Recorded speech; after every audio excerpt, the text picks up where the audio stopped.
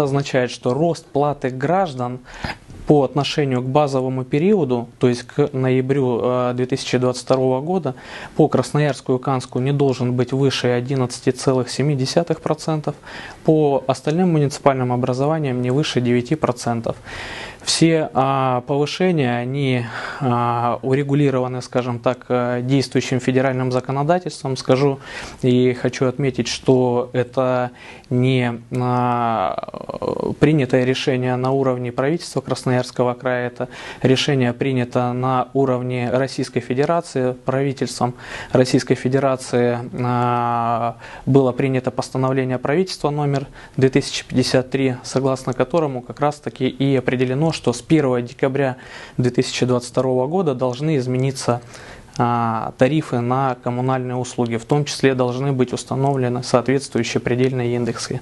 Исходя из э, федерального постановления правительства, указом губернатора были утверждены соответствующие предельные индексы более 5,5 миллиардов рублей ежегодно из э, краевого бюджета направляется на ограничение роста платы граждан по комплексу коммунальных услуг. Что это означает? Если тарифы, к примеру, устанавливаются э, экономически обоснованными, там с ростом могут быть и 10, и 20 процентов, и 30 процентов, а, то а, плата граждан а, в совокупном объеме не должна превышать рост тех предельных индексов, которые устанавливаются субъектом.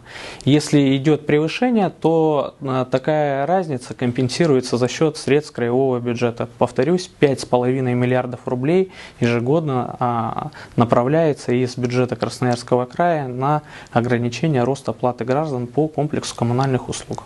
Поскольку у нас э, второе повышение в текущем году э, произошло, то следующее изменение тарифов произойдет только с июля 2024 года. То есть полтора года у нас цены не будут и тарифы в том числе меняться на коммунальные услуги.